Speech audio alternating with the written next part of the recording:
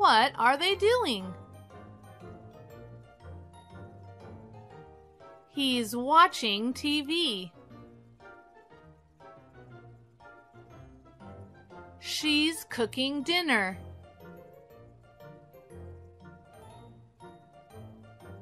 He's eating breakfast.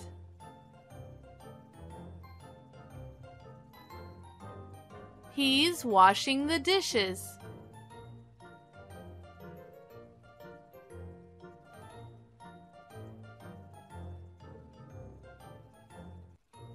He's listening to music.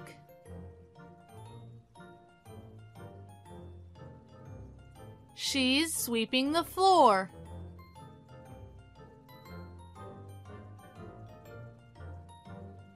He's taking a shower.